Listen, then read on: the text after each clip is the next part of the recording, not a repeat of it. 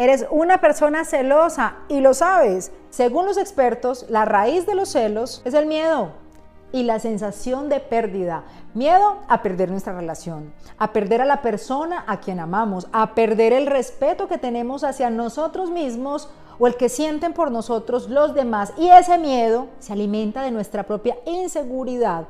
Pero se puede, claro que se puede romper ese ciclo. Lo primero, puede sonar muy obvio, pero si intentas confiar en tu pareja, mm, ¿qué tal? Es muy hiriente para una persona que alguien dude constantemente de su palabra, de su decencia, de su comportamiento, de su compromiso. Tu constante desconfianza puede resultar tan destructiva como por ejemplo una infidelidad. Dos, no te compares con nadie. Muchas veces los celos provienen de una baja autoestima, bueno, muchas veces no, casi siempre. Y al final tenemos que aceptar que allá afuera hay gente más guapa, con más dinero, más inteligente, más divertida, más interesante,